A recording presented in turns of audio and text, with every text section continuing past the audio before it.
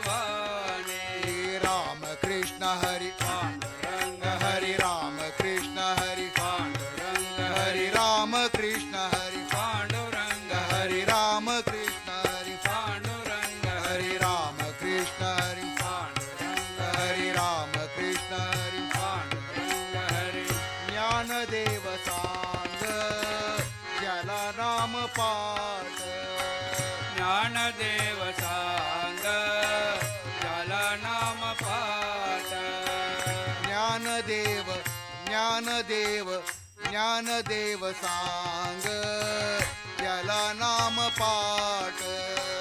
ज्ञानदेव ज्ञानदेव ज्ञानदेव सांग याला नाम पाठ. पूर्वज वैकुंठ मार्ग सोपे.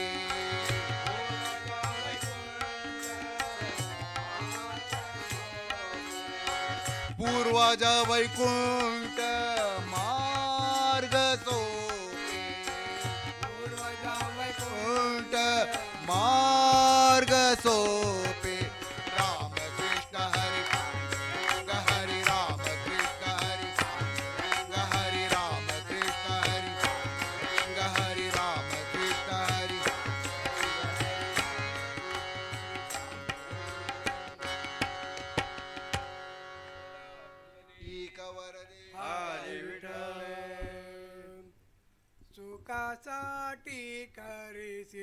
ತಳಮಾಳ ಸುಖಸಾಟಿ ಕರಿಸಿ ತಳಮಾಳ ಸುಖಸಾಟಿ ಕರಿಸಿ ತಳಮಾಳ ಸುಖಸಾಟಿ ಕರಿಸಿ ತಳಮಾಳ ಪರಿತು ಪಂಡರಿಸಿ ಜಾಯಿ ಏಕವೇ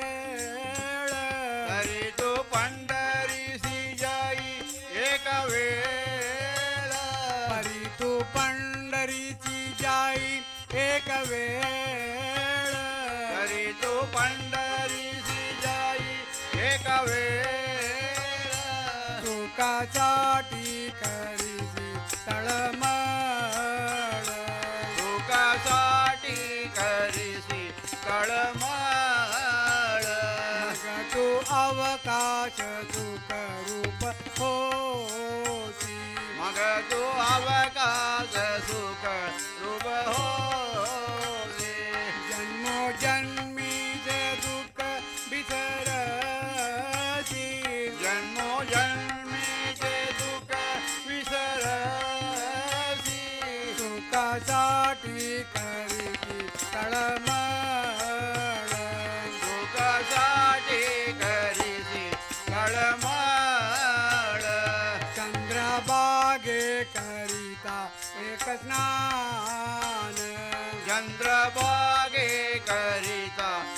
कृष्णा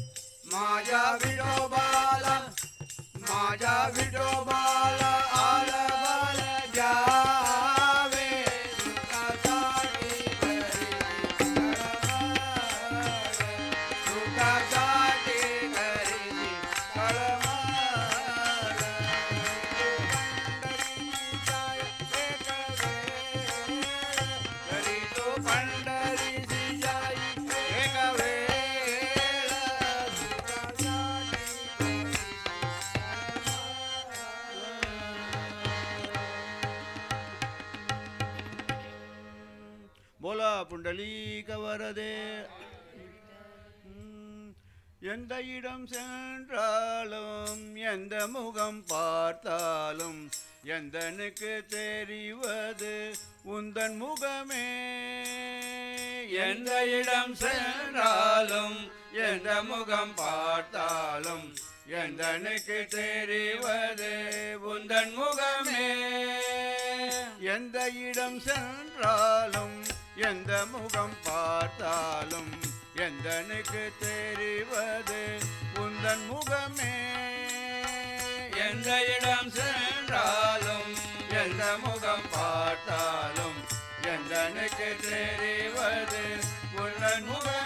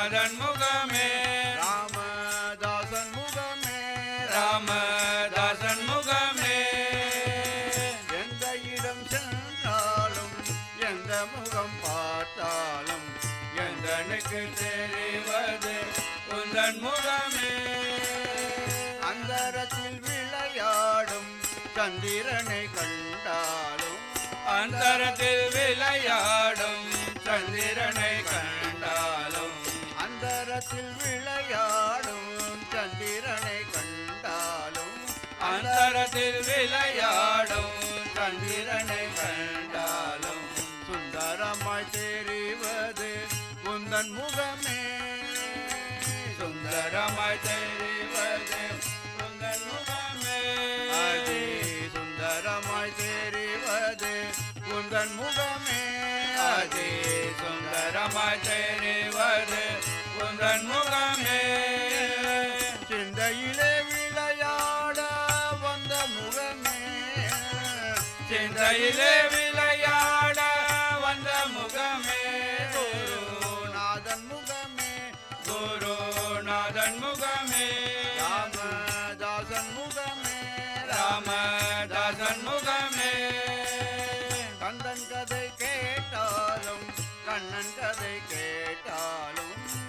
கண்ணன் கதை கேட்டாலும் கண்ணன் கதை கேட்டாலும் கந்தன் கதை கேட்டாலும் கண்ணன் கதை கேட்டாலும் கந்தன் கதை கேட்டாலும் கண்ணன் கதை கேட்டாலும்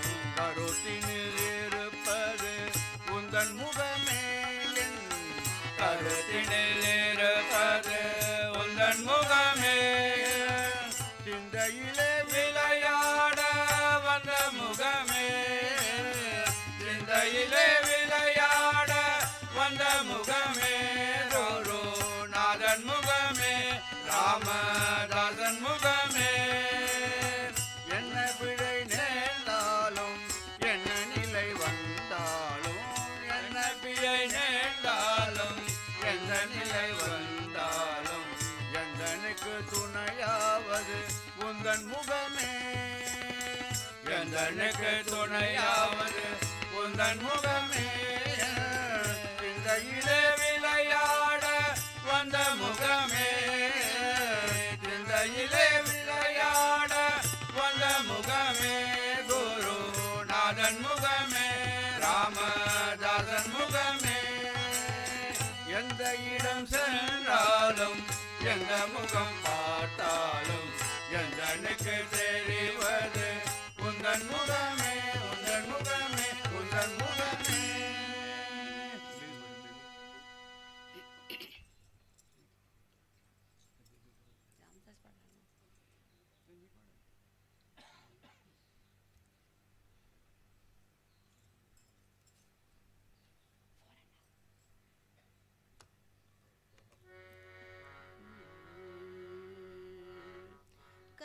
சொன்னதென்ன?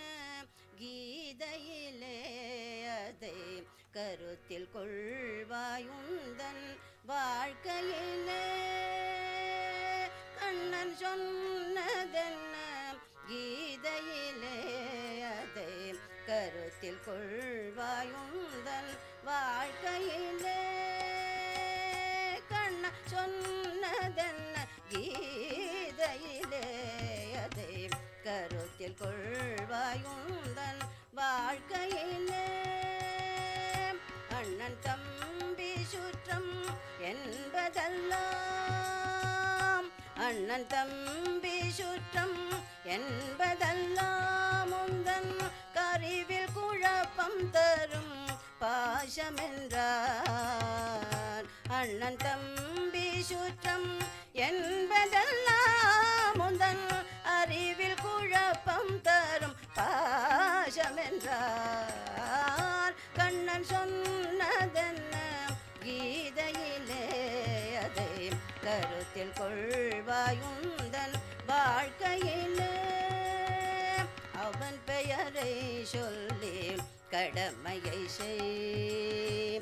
அவன் பெயரை சொல்லி கடமைய செய்யதன் விளைவுகள் அவனுக்கே. அர்ப்பணம் செய் அவன் பெயரை சொல்லி கடமையை செய்யதன் விளைவுகள் அவனுக்கே. அர்ப்பணம் செய் எவனதை செய்தாலும் அவன் அறிவான். எவனதை செய்தாலும் அவன் அறிவான்.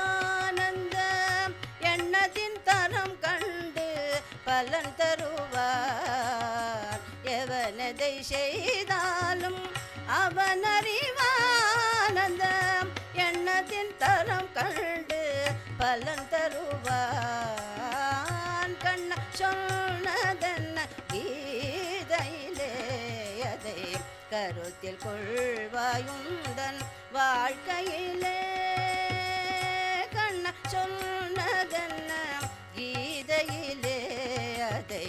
கருத்தில் கொள்வாயுந்தன் வாழ்க்கையிலே நம் வாழ்க்கையிலே நம் வாழ்க்கையிலே.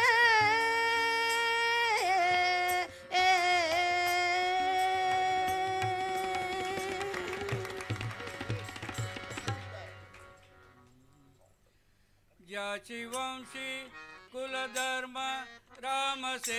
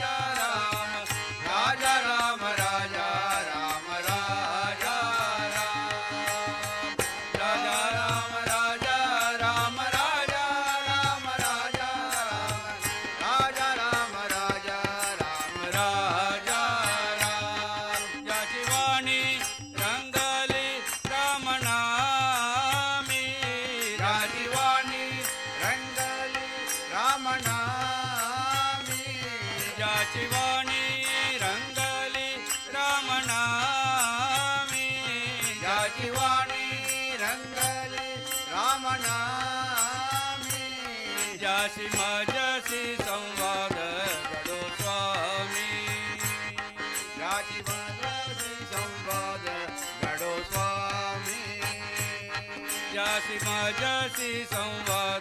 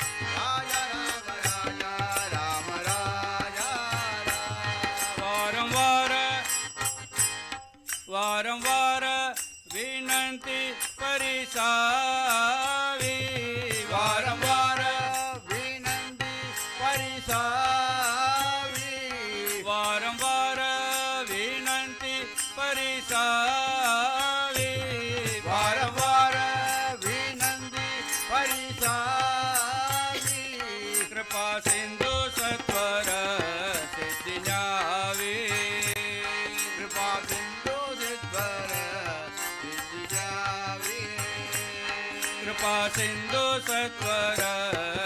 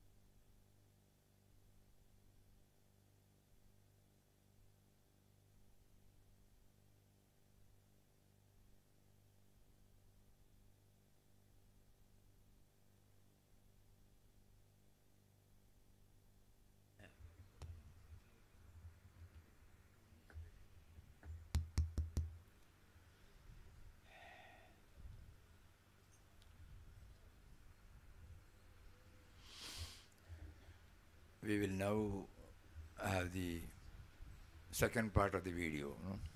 about ashram, about and the words of uh, Mother Hamilton.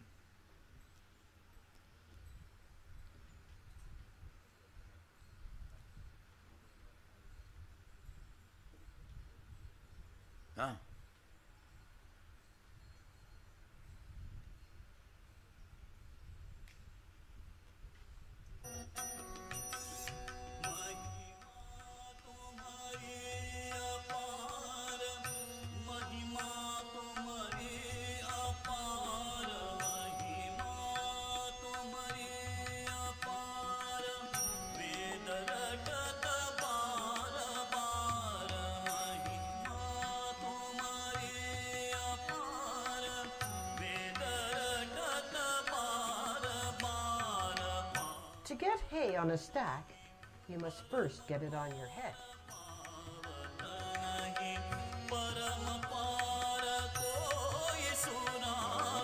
Then you must climb a ladder. No messy machinery around here. Mataji and Ramdas supervise.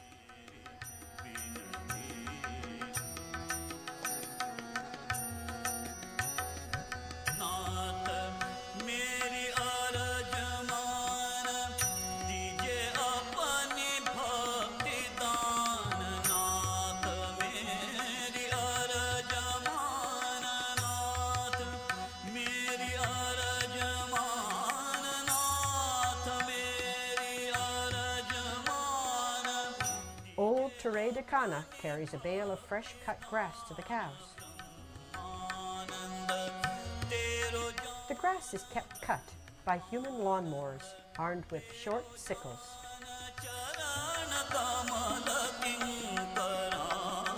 Water is distributed to necessary points by head power, usually a woman's.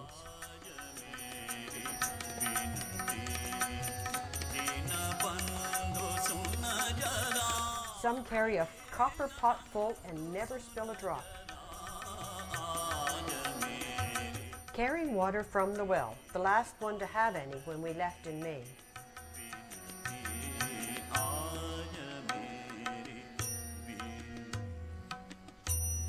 Here's the well.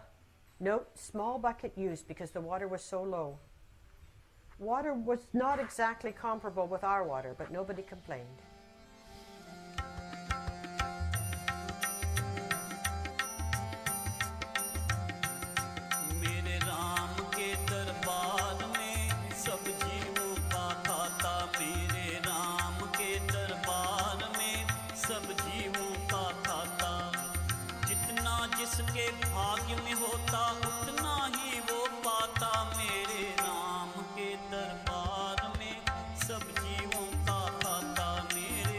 Swami Krishnananda on his way to morning bath.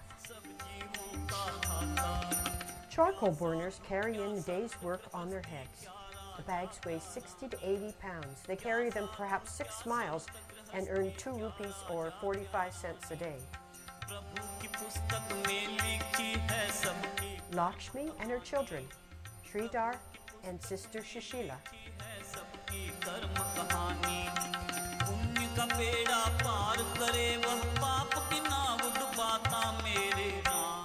one is lost and forlorn, sits and cries. Bigger boy asks him what's wrong, then says, Come on, and we'll find your mother. Indian children take wonderful care of little brothers and sisters.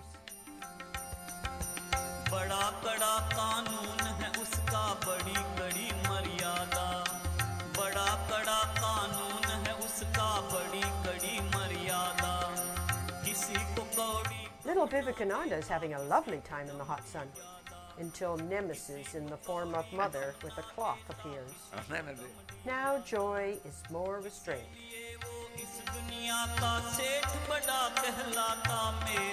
Sridhar and his aunt Ganga. Possible. And this Sridhar is singing the Ramnam every day morning. Mm. Eh? Morning, morning, yeah, yeah. Yeah, yeah. Then, then जीवों का खाता मेरे राम के दर Women and children around the ashram. colorful saris worn by a group of women on the village street. Children always have to get into a picture. इंसाफ सभी का गुरु आसन पर डट के करता है इंसाफ सभी का गुरु आसन पर डट के उसका फैसला कोई न बदले, लाख कोई सर पट के उसका फैसला कोई न बदले, लाख कोई सर पट के समझदार तो चुप रह जाता, मूर्ख शोर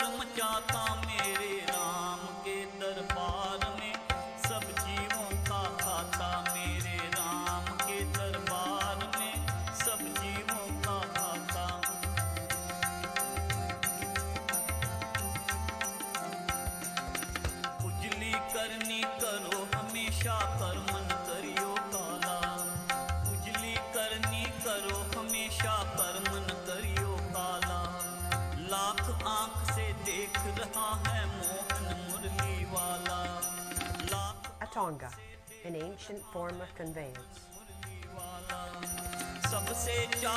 Young Muslim girls bring their little brothers and sisters to dinner.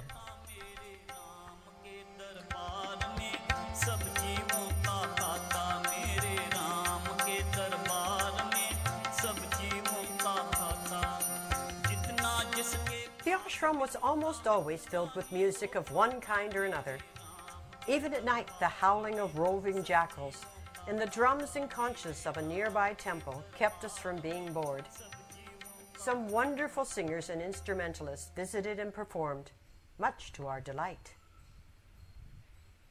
A number of feast days were observed, including Gopuja or Cow Worship Day, Ram Das's birthday and Sanyas anniversary, and a three day visit from the governor of Kerala state.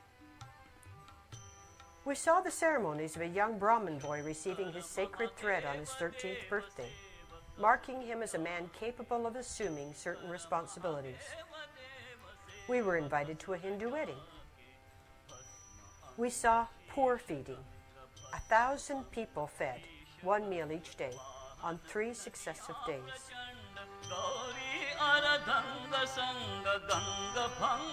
Woman singer Mathurabai and young tabla player Ram Kishore. Wonderfully sweet voice, tremendous range, and amazing control as most Indian singers have. They are trained in breath and vocal control from childhood. She plays a tambour and uses a clacker with castanets in it for keeping time. Most Indian music has a definite rhythm and sometimes a real hot beat. मुंडमाल Chandra Note her concentration. She is most devout, and her songs are the typical religious music of India. देव सेवक सुर जागे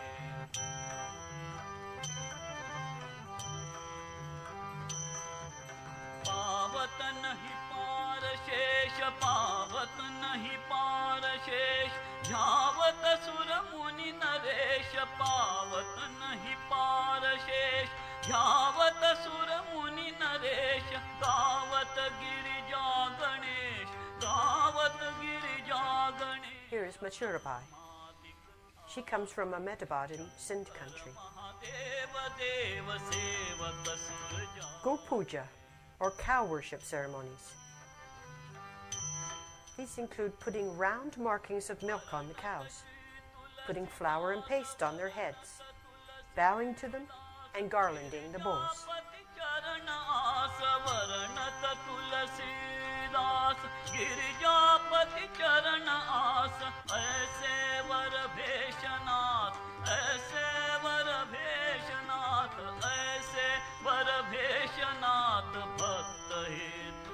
Here are buffalo cows in a wallow.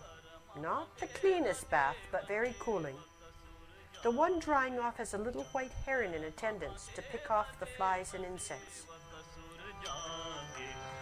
Buffaloes have no hair, so they must get into the water frequently to avoid being fried by the hot sun. The governor of Kerala State, Ramakrishna Rao, came for a three day visit with his aides, an armed guard, and a flag requiring the erection of a pole. Swami Atmananda, who had been in jail with him during the Gandhi days of civil disobedience. Walks over to inspect the dispensary. Guard of honor is dismissed.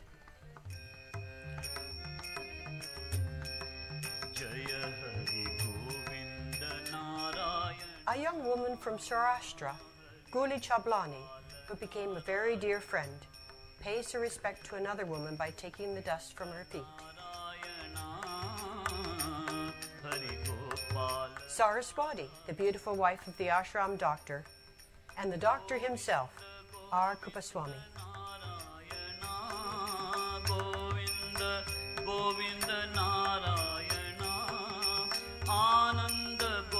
Here they leave their house bound for a gathering.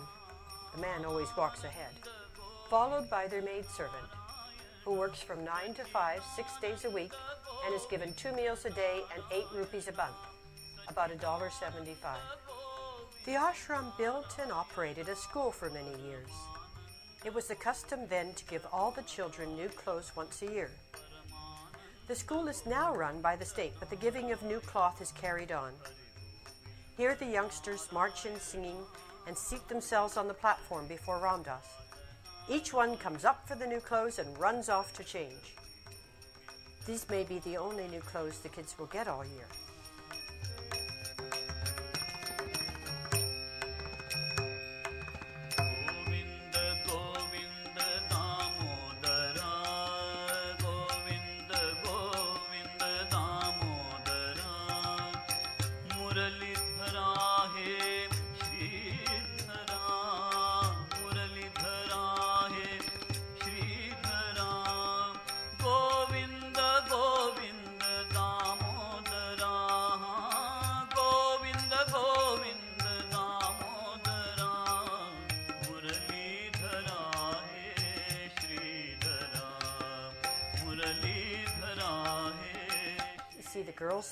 on the left, the boys on the right.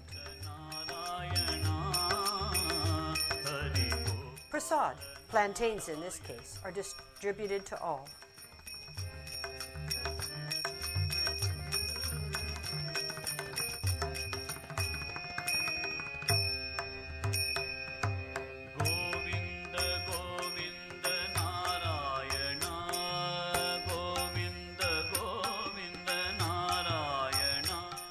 boy has just received his sacred thread of the Brahman caste and is robed in the ceremonial red cloth, indicating he has reached maturity.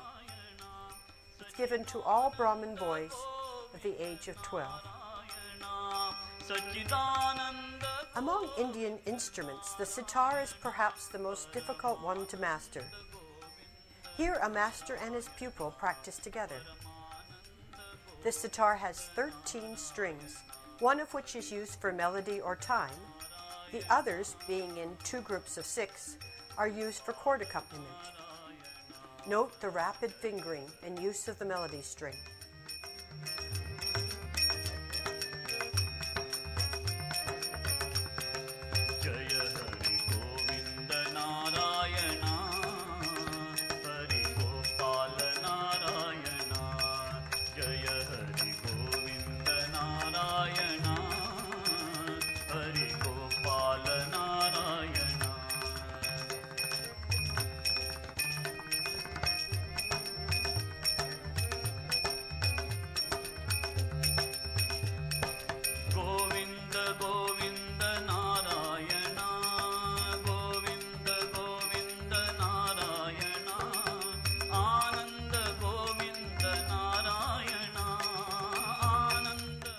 friend also enjoys the music.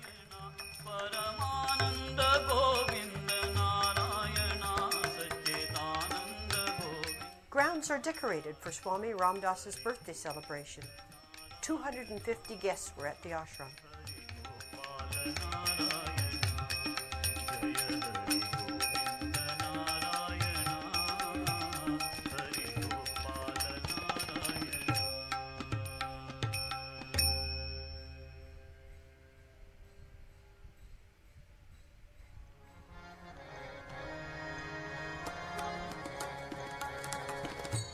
part of the celebration, the poor are fed.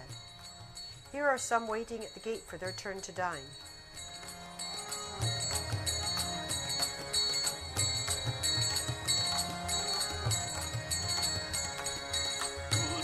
Note varied quality and quantity of clothes. Guru Charana, Guru Charana.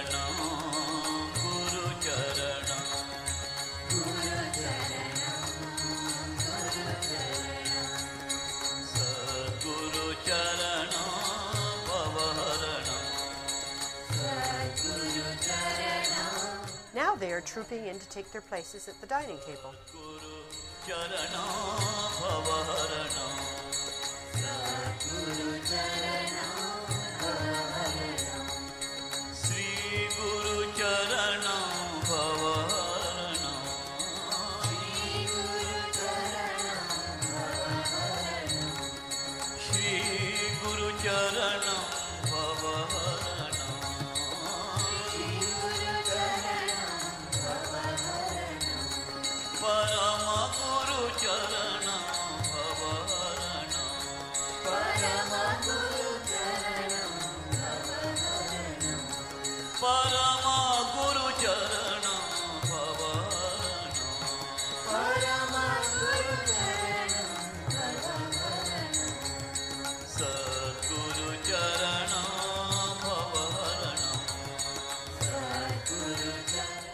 are seated on the ground.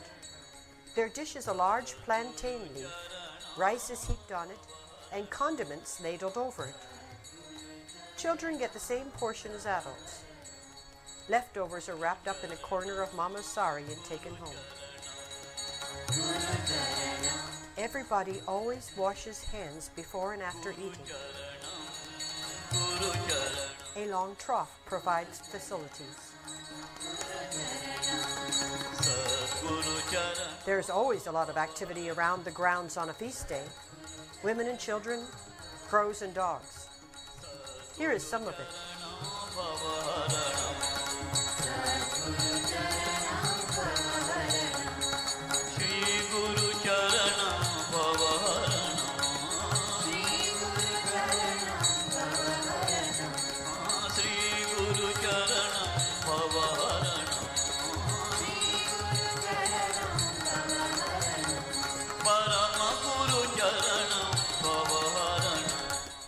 sadhu leaves.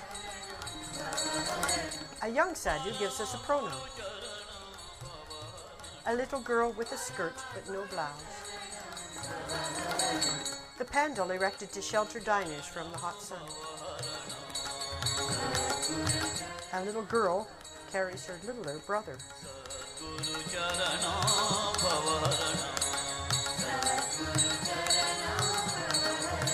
Blind man led by sun using stick.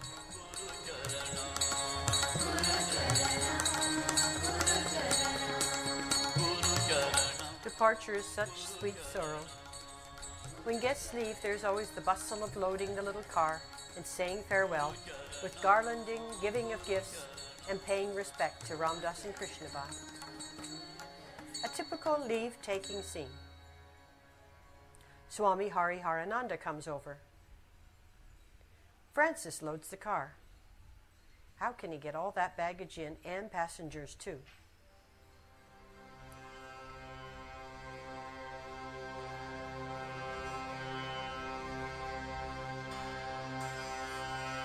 Sri Ramaswamy, the editor of the ashram magazine The Vision, joins the group.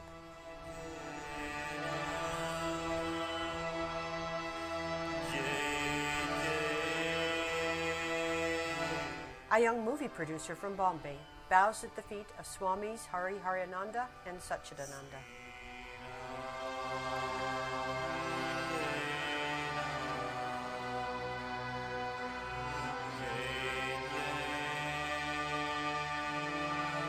Swami Satchidananda comes down the steps to join the group. An old devotee arrives. Papa comes with his retinue.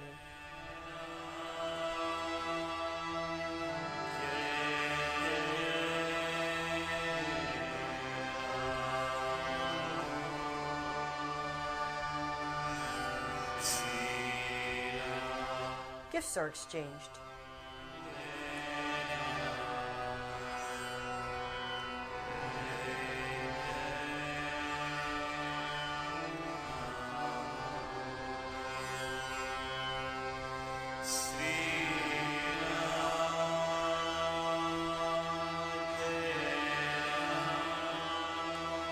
Departing guests climb into the car.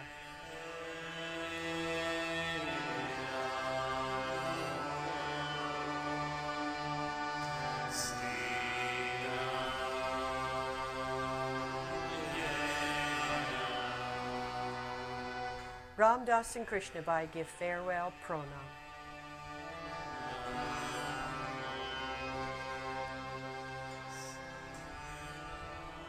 Reverend Mildred garlands Mataji and bows at her feet.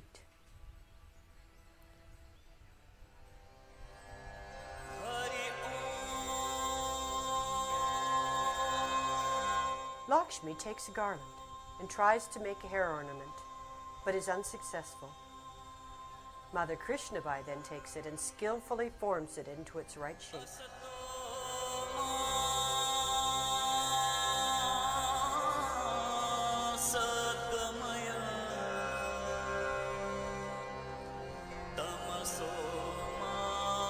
Reverend Mildred leaves the guest house. She says au revoir as our picture story ends, wearing her sari and flowers in her hair. And so ended our visit to Anandashram. Truly the abode of bliss. And we flew home to America. Never will we forget the loving friendship given freely to us by the many Indians of all castes that we met, and the care and consideration and thoughtfulness lavished on us by Ramdas, Mataji, Satchidananda, and the ashram people. Satsang, or being in the presence of saintly ones, is like sitting in the warm sun and feeling the heat and light flow into your whole being. Pranams.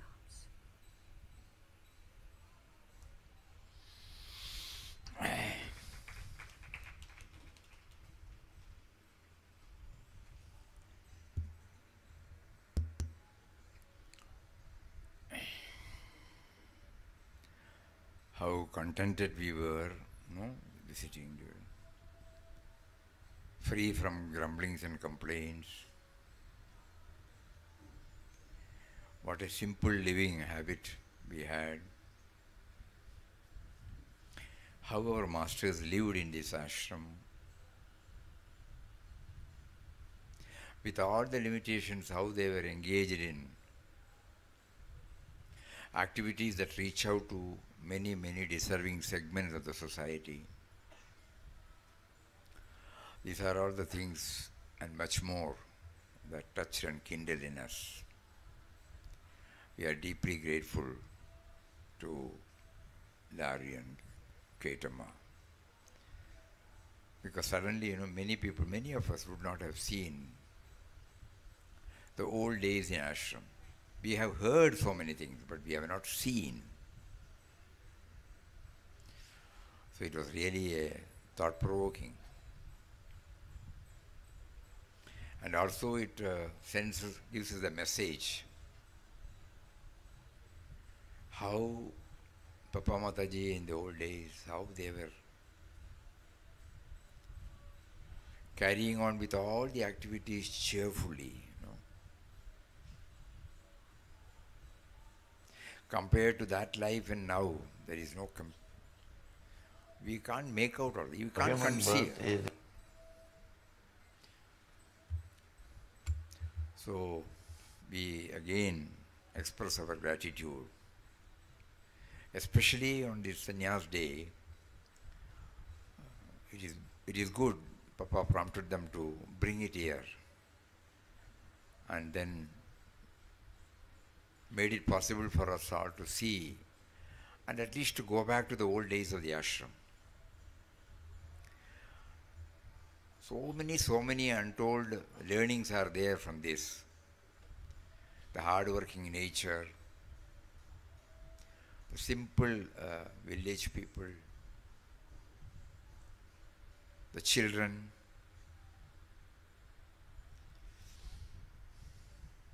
So many, so many, so many.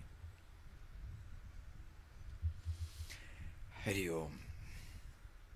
Now we will uh, First, we heard uh, Param Pujya Papa's words. Yesterday, we made an attempt to hear Pujya Mataji's words. Now, we will hear Pujya Swamiji's words. Pujya Swamiji, when we think of him, joined this ashram for good on 26th January 1949.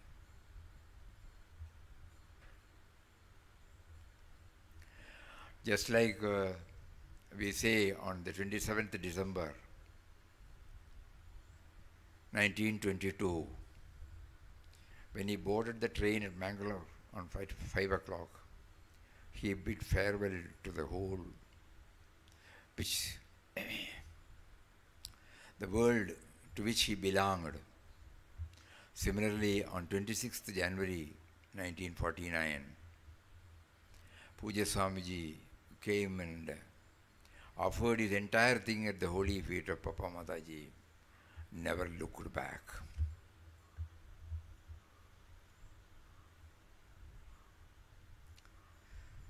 Many people closely associate with many noble ones, but rare are the ones who imbibe and make it a reality in their life.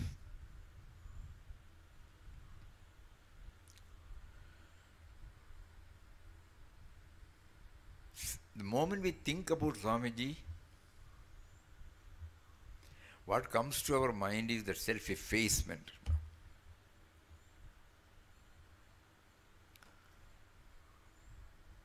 Even when he was totally involved in all activities, nobody will find that he is always busy or he talks anything about that. We started coming here from 64 onwards. But only after coming here in 89 to spend more time in ashram, we came to know the load of work Swamiji was carrying. But during the previous 25 years, we used to spend some time with Swamiji, of course with Mataji more and then with Swamiji. But we never knew that the load of work was too much for him. That was his uniqueness. Nobody will know that. Meticulous in whatever he does, excellence in whatever he does, self effacement, ready to serve everybody. Simple living. If there is another word beyond this, we can. Simplest, okay. A small room in this Ramana building where one or two almiras will be there and a chair and a cot. Hardly any space to move about freely. And common bathroom, common lavatory.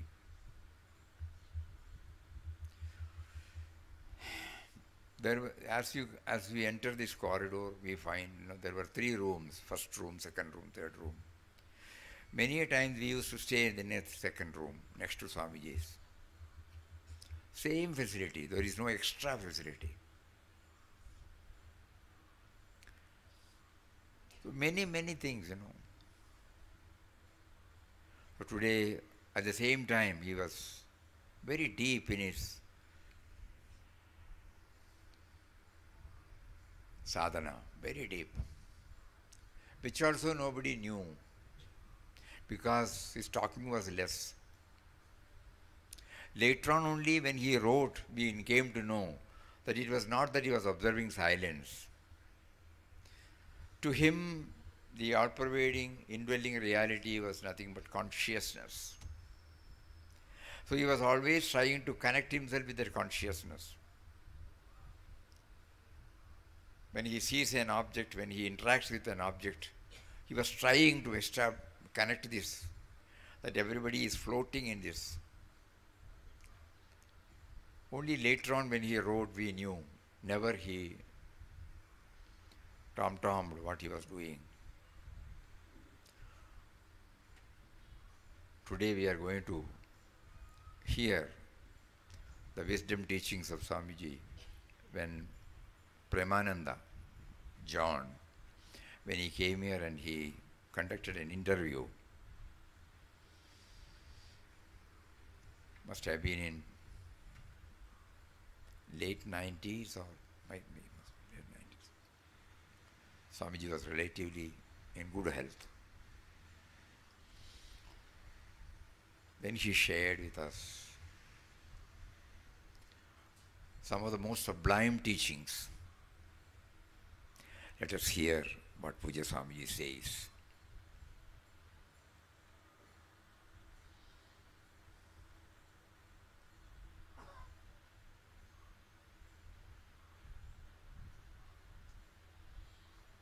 Sound? Human birth is the gateway to liberation. Now, having taken birth, we are also endowed with intellect. Using the intellect, we find that there is something higher than what the world can give us. We can get only happiness depending upon certain conditions. And that happiness is always followed by sorrow. Now our intellect tells us there must be something more than this, eternal happiness. And we start trying for it. That is the occasion, that is the turning point in our life to return home. Then the efforts to go back home begins. We come in contact with a wise man who knows the truth. He tells us how to go back. He asks us to meditate on our true being or any other method that will lead us to our original home.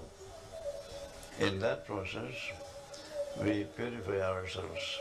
Means our mind gets purified, all those desires are dropped off, all the effects of the desires are dropped off, effects of actions are dropped off,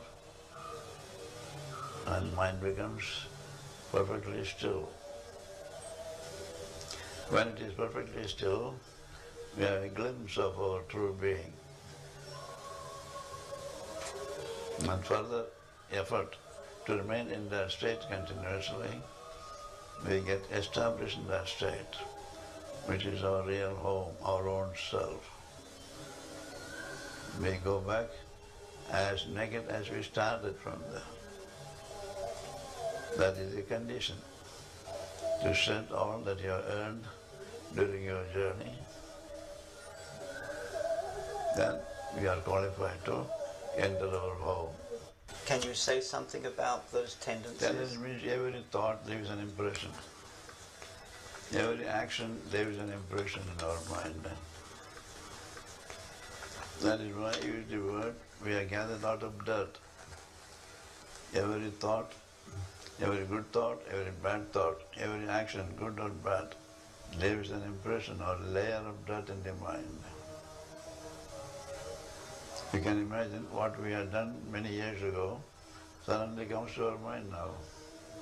It has been there. All those things have to be removed before we can say we have shed all that we have earned during our lifetime. Then only we can, we are absolutely pure, absolutely free or qualified for liberation. For example, when we went to Nityananda's ashram, there are many small caves where you can sit. So the feeling is that it takes many years of hard work to purify the mind. Many years of hard work, definitely. Mm. Well, it depends upon how much we had gathered, how much dirt we had gathered. In some cases, it is not difficult because they have not gathered much of a dirt. When the dirt is like a mountain, it takes a longer time.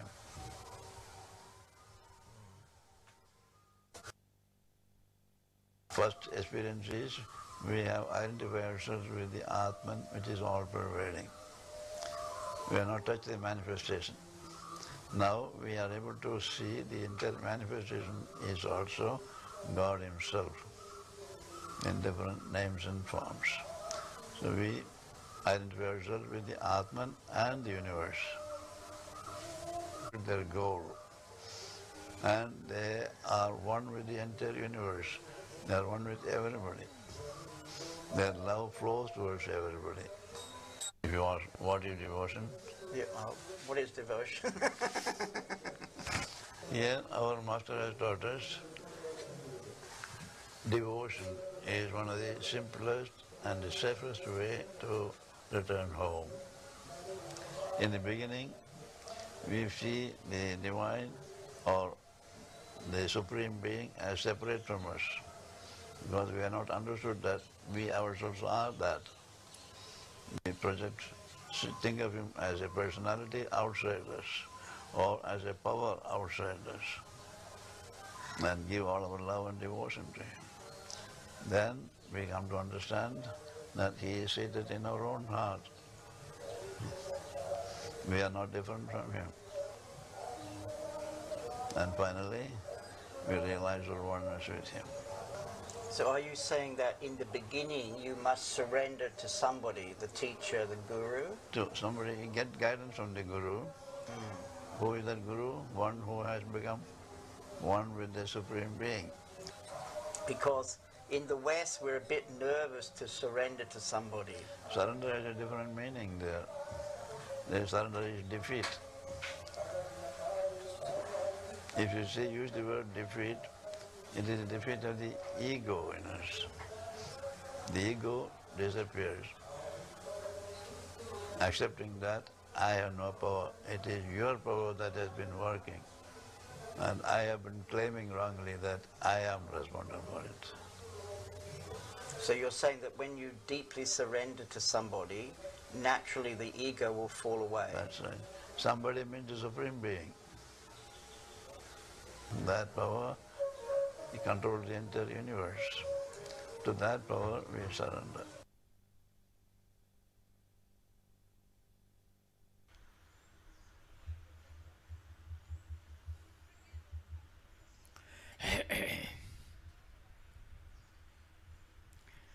In a very simple manner, no? Swamiji touches the core of our being by using the word real home. He also used the word that we have to go back, we have to become as naked as we were. What all we have put aside on. Then we try to understand that they are nothing but the rights and wrongs, the likes and dislikes, our cravings, our infatuation, our desire, our ambition, our concepts. All these things, you know, somehow we have gathered and we, unless and until we get away from that, we cannot be back to our real home. That word should come back to us often. Whatever sadhana we are doing, it we should be able to. If we don't bring that into picture while doing sadhana, we will be still groping on the surface. This has to be very, very clear to us.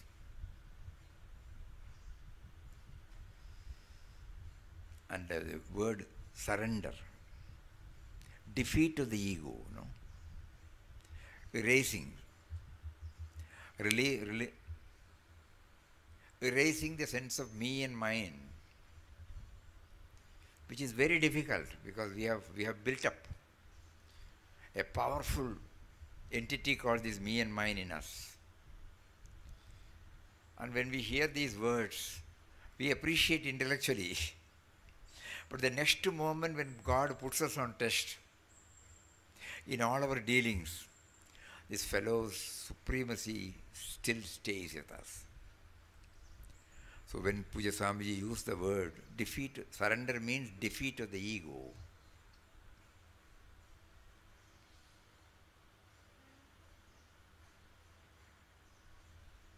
For which we have to remember him always, otherwise how will we? Instead of me and mine, we should know that he who is making the me and mine, me and mine. Me and mine has a role to play, no doubt. It is not that me and mine will go, but it becomes a purified ego.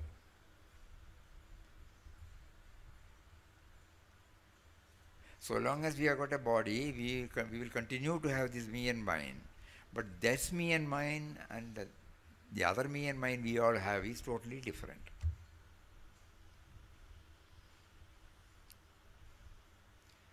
I me- the small eye and the big eye. In his commentaries in Vivek Chudamani, he brings out this. There are two eyes in us, you know. E F G H I, that eye, not E Y E.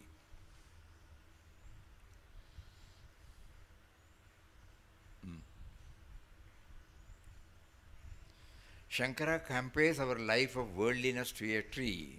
Its seed is ignorance. The notion that I am the body is the first shoot. Attachment is its fine leaves. Our body is the trunk of this tree. The vital forces within are the branches. Our organs are the twigs. Hmm. All our self centered activities go to fatten this tree of worldliness giving us the fruits of miseries and sufferings. The individual soul is the bird on this tree experiencing everything. Similarly, in Mundakopanishads, we find a picturesque presentation of man's evolution from his life worldliness to that of freedom and immortality. There are two birds on the tree. One on the top is sitting in silent majesty, and the other is other down is pecking sweet and bitter fruits. Every time the lower bird eats a bitter fruit, it receives a shaking, repents. It expectantly looks at the upper bird, sitting majestically, and moves a little forward. Hmm. We are like the lower bird, fluttering about the sweet and bitter fruits. We flit about from one object to an, of enjoyment to the other and keep experiencing pleasure and pain, often more pain and little pleasure. We keep chasing them in the hope of getting that little bit of pleasure. This goes on for a long time, say for many lives. Pujya Swamiji was talking about that purity, you know. Dirt, removing the dirt. Hmm. Yes.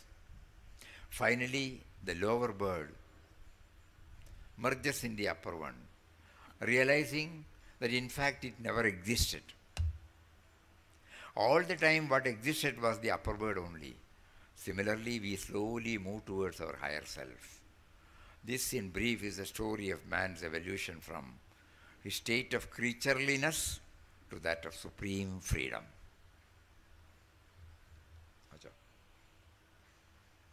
Ah, these are all nice too. The Mount Everest of spiritual experience comes by proper discrimination between the self and the non self. First, we have to know what is non self. One must strive for the discrimination between the individual soul and the eternal soul. Everything comes in a mixed form in our life. We have to sift the real from the unreal. This is the challenge posed to the human intellect. In each one of us, there is an individual self and the eternal self. The individual self is the I, the eternal self is the witness of this I. These are the appearing self and the real self, respectively. There is the I, and there is one who witnesses the I. The individual self is the I. The eternal self is the witness of this I.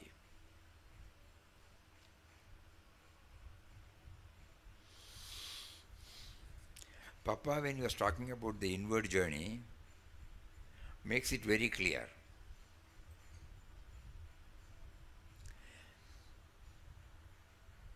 As soon as the mental chanting starts,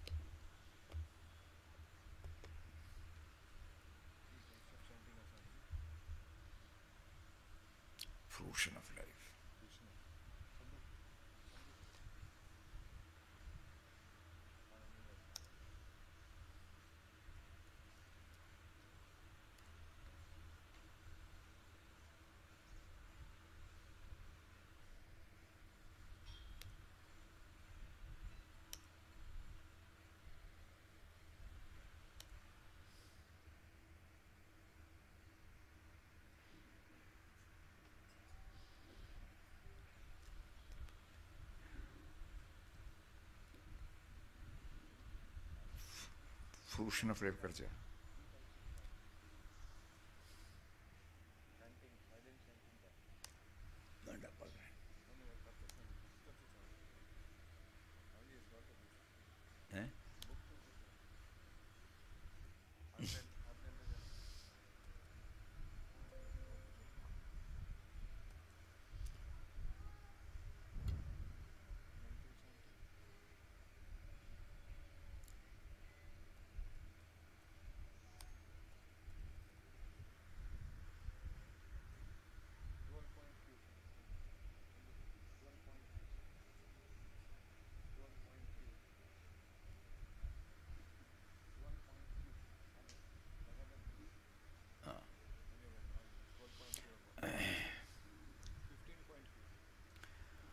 In the spiritual journey, going inward is a must. When we sit silently, we have to be conscious in the first place that the God we seek is in our own heart. Is it appearing? Then mentally repeat his name.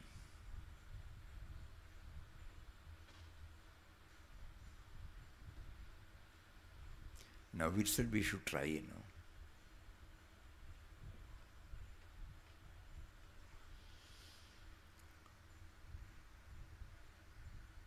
Make the mind repeat the name until all its waves cease and it becomes perfectly still.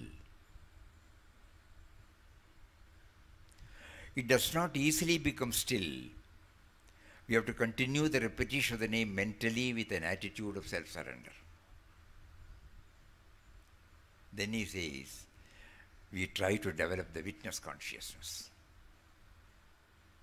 It is a state of awareness of the immortal and radiant truth within us. In fact, this awareness itself is God realization.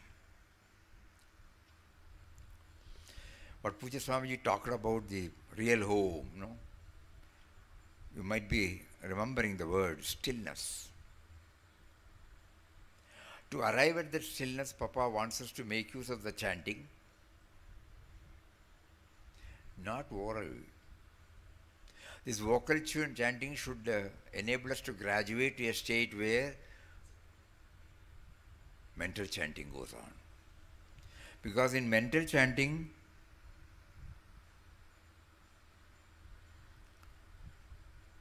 we should hear our mental chanting. We become aware of the chanting. We realize the chanting. Then suddenly it becomes clear who is realizing, who is talking. So the, the, it, it paves the way for the emergence of this witness consciousness. That is what has been mentioned by the, the, the small eye and the, and, the, and, the, and the big eye. So the sense of individuality becomes totally convinced that it owes its origin to the top bird, you know. there are two birds. So, how to reach that? Here, the, the small eye and the little eye. Is our real home. And at the beginning, Pujya Swamiji said the human birth is the gateway for liberation. So, we should not miss this opportunity. In no other species, this, is, this privilege is given.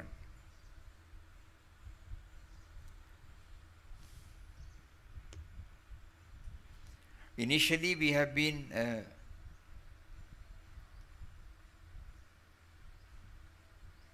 involved in various activities that keep us away from this real home. But every now and then, when God makes us to pass through the severest stressful period, we all feel, you know, somehow I have to get peace of mind. We say, no.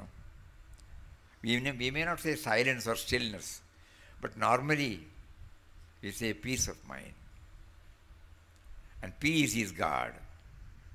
Peace is stillness. Peace is serenity. That is what is aimed at. So the individual self is the I, the eternal self is the witness of this I. That's why we remember this witness conscious. It is also there, not that we have to get it from outside. When by His grace we try to practice this uh, mental chanting, as much as possible mental chanting, then it facilitates for the emergence. You know, we become aware of the presence of the witness consciousness. That moment, you know, Pujya Swamiji that glimpse of the, our original nature. And the effort is to get stabilized. Is that over? No. Put. Same thing. Same. Ah. What is that wonderful reality? We see, at the same time, we also see also our act of seeing.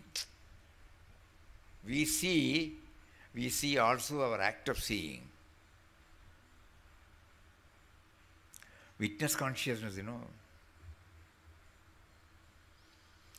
We see, and at the same time, we see also our act of seeing. That is the witnessing self called Sakshi. This Sakshi has entered even in psychology. Supreme Self is the witness, witnessing the individual self. We have to discriminate between them and be established in the Supreme Self.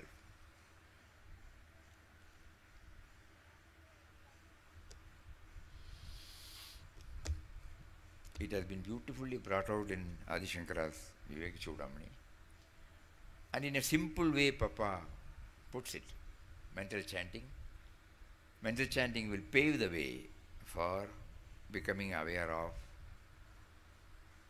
the witness consciousness. So to, today, Papa chose to reveal, made us to think about all these things through Swamiji's simple words, real home. Let us not forget this word. We have left the real home and we have forgot the way to reach. We remember many years ago when parents had to be shifted to Bangalore. The brother's boss, you know, who came from Paramagudi, brother arranged for him a house in Jayanagar. So one day evening when we happened to be there, he was in an auto, came there, and he said, I have been search in the auto rickshaw for the more than one hour to see my home. I have not been able to locate my home. Will you please help me? He was staying there, but all streets are alike, you know, especially in a place like Jayanagar. All buildings also look the same for a, for a stranger. Unless we familiarize ourselves with that, we will have some landmark, something like that, no number. But this man came and told us, I have been rounding, rounding with the, in the auto, the auto rickshaw man got really bored. You get down somewhere. so finally, brother said, you, you took the bike and led him to his own home. So we were, you know, at that time, we were joking, but it was a lesson for all of us. Unless and until we have correct idea about our own home, We will not, though we started from there, we have lost the way. Exactly it has happened to all of us, or many of us, or most of us. We have left our real home, and after seeing so many things, got fed up with this, and then we want to return to our home, but we don't know how to return. Then we remember this friend's experience. It can happen, yeah. And the world we live in is a school in which observation and experience offer us immense possibilities for self improvement. So it is not to be just laughed away. It was a there was a learning. Ah, yeah. We are still searching for our own real home. The spiritual preceptors have given us some idea about the uh, home and the path towards it, but still it is not very clear to us. So these two words of Pujya Swamiji, we have to somehow get imprinted in our heart. Real home. Trip back to, and first thing is, human birth is a, is a gateway for liberation. It is not the gateway for bondage. It is a gateway for liberation. And second thing is, we have come from the real home. We should know that first.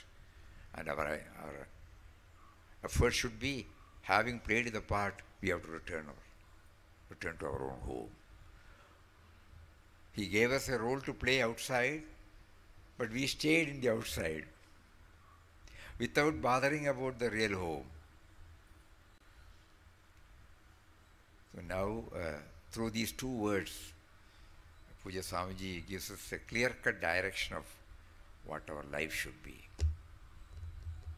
In this Vivek the second chan, second sloga, uh, when Swamiji said the human birth is a gateway, in one sloga he says that Durlabam Trayamevai Tad. It is rare of the rarest. These three things are rare of the rarest.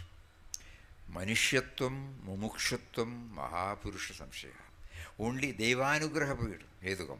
Only by Devanugraha, only by the grace of God, we get these three. What are the three? One is the human birth. And second is the desire to go back home, no? And the third is the company of evolved souls. Durlabam trayamevai tad devanugraha hetukam manishyatvam mumukshatvam mahapurusha samshaya. So whenever we hear Pujya Swamiji's words, this sloga also comes to us. Yes, it's a gateway for liberation. We should not miss this opportunity. That is why Papa is arranging programs like this, you know, not for conducting the program. Outwardly we say centenary, some, some, some instrumental cause should be there, no, to ignite our aspiration. So, but the real purpose is that, not to be content with the, the programs, no. It is real, it is, a, it is a push to our real home. Papa wants every one of us to think about our real home, know about our real home. From those who have scaled and they have they have returned home. And when they when they, we develop, just now we saw the video, you know, last line is abode of bliss. That is our real home. in, a, in an understandable way, Papa puts it as objectless happiness. Happiness, we have some idea, no, some mental, intellectual idea. But it is all attached to, it is dependent on, or it is based on some object, or some situation, or some uh, person. But here it is objectless happiness. Happiness that is full, the bliss, so that is our real home. We have to get back to our real home. We have been drawn by Papa to his uh, ashram and also to various wisdom teachings. And he made us to observe and learn from Pujya Mataji and Pujya Swamiji. We should not miss this opportunity. This is the best way of paying our homage to him. He will be very happy, not with anything, you know. They don't want anything. But they will be happy when we have really understood that we are all serious in going back to our real home. So, we on this day we pray to him intensely to somehow enable us to get fixed in this ideal. Because as soon as the program is over, as soon as we get back to our own places, as soon as we get back to our own activities, field of activities, the intensity which we have developed now, it may not be there. Swamiji says about that vasanas, impressions, the leftover, whether it is good or bad, each one leaves a deep dent in our. So that occupies our mind and then makes us to forget about this real home. And the purpose of our life is the journey to the real home. All these things we unknowingly, unwittingly forget. So let our prayer is Papa, you made us to know all these things. Enable us to live up to it. Make it a reality in our life. You have provided everything. Every day you are providing. Not only for the individual existence, but also for reminding us of our ultimate goal to be scaled. Please shower your blessings. You have been showering, but I am not aware of your showering. Make me aware of your showering and grace so that our it is not a journey. It is a it's an awareness. It's an awareness of realization of our original home that becomes a reality in my life. Hari om. Today also we had a, a wonderful forenoon session afternoon session with bhajans. Something about the old days of through which so many learnings and also Pujya Swamiji's words of wisdom, something from Swami Ranganathanji's words from Vivek Chudamani. Every day he is giving us, you know, to, for the, when we do the concreting, you know, you must be knowing that when the mortar, when it is poured, or somebody will be holding something like a, a rod and he will do this, you know, wherever this mortar, so that there is no void there, there is no vacuum there. It get become otherwise the leak will be there. It doesn't get stabilized. So we are hearing so many things. Unless if we do that, outwardly, yes, the mortar is there. And the mortar will become really strong only when the vacuum inside is removed by stirring it. You know? If you watch, that is something for us to remember, learn. You know? Two, three people with a rod, they will be doing this. Sy- Systematically, they will do it so that no, nowhere there, there, anything is left over. So that by the time it gets set, the first two or three hours it gets set. In six hours, you know, more it gets set. And in 24 hours, 80 to 90 percent. In another 21 days, it gets completely 100 percent set. But before the setting process starts, we have to do the stirring and to plug all the all the void there, no vacuum there, gap there. So we have heard so many things. We have been provided with so many things. Unless this stirring goes on, it will not get stabilized in us. So we pray to Him now. Not merely you, you, you should be, you should leave us by giving all these things, but enable us to do the stirring by ourselves so that it gets stamped, concretized, the real concretized in our heart. Hari Om. Something about uh, the Bhajan Sandhya, uh, our Murtiji uh, and party will render. Uh, seven, seven o'clock he will be here. We request all of you to be here by seven o'clock. It will be a thrilling session. Uh, Chandu can request him once in a way, at least, suppose he's in different languages, to say something about the content so that you know we travel with the theme. Not that every word we should understand. Something of it. Uh, so if he just like morning he did like that. It was very, very in- inspiring for all of us. We have heard this Brocheva Reverura, but we never knew that it, it, the, the, it was a fervent appeal to the Lord. Without you, who is there for me? If that that comes, you know, we will be enjoying the whole journey with Him. So similarly, you can request Him to give us some. Uh, you are here, uh, so that we will be traveling with Him, and the, it will be a wonderful journey for all of us. And then anything else to be, you know. If anything is to be shared tomorrow, we will do it in the morning. We will have bhajan. You know, bhajan, the bhakti part has to be definitely nurtured, kindled. Otherwise, you know, it becomes dry philosophy, you know. Uh, none of us will be able to travel with that. But jnana is necessary. Papa used to say, there, there you go.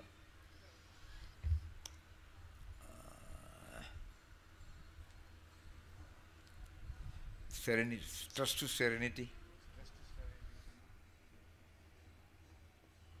Ah, I got it.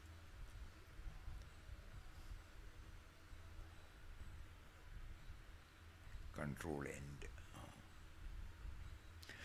Papa says, Bhakti is the root. Jnana, Vairagya is the trunk. Trunk.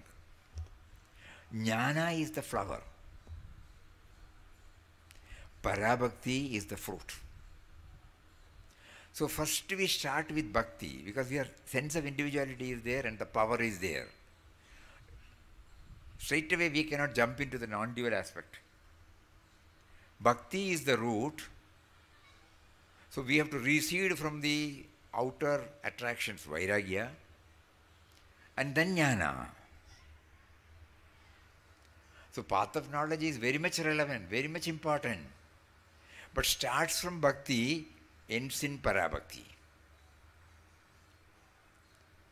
Feeling the whole universe, including us, pervaded by him only. That is the fruit. So in Quest of God, in-depth study revealed this, you know.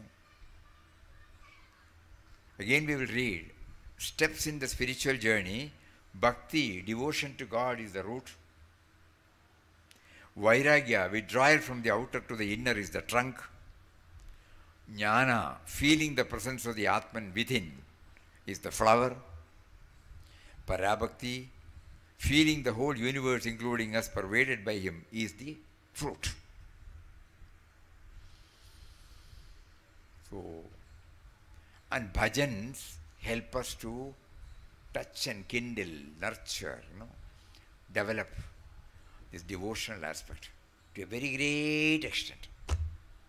Surrender aspect is emphasized by every saint in whoever has composed this. So today bhajan when we it is not merely the bhajan program, that is also necessary. Accompaniments have their own relevance. Raga has got its own relevance. But the lyrics also, you know, the Sahitya also got its own important role to play. So today's Bhajan Sandhya program, we will try to take out the maximum benefit from it. Hari Om. Om Shri Ram, Jai Ram, Jai Jai Ram Om. Shri Ram, Jai Ram, Jai Jai Ram Om.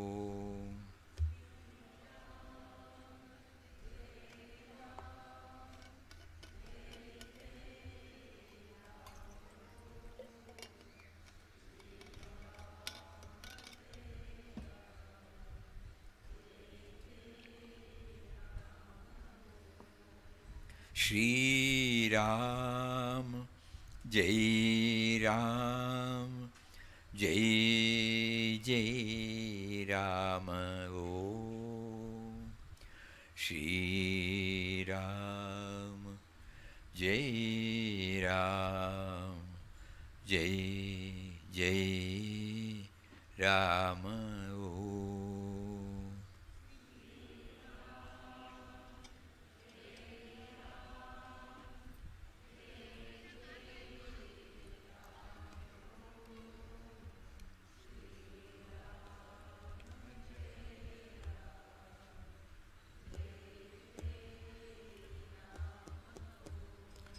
Shri Ram Jai Ram Jai Jai Ram Om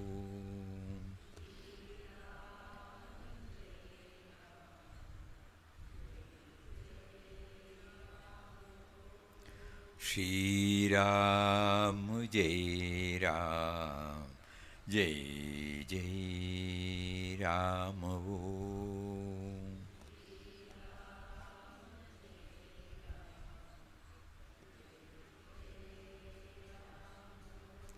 Shriram जय राम।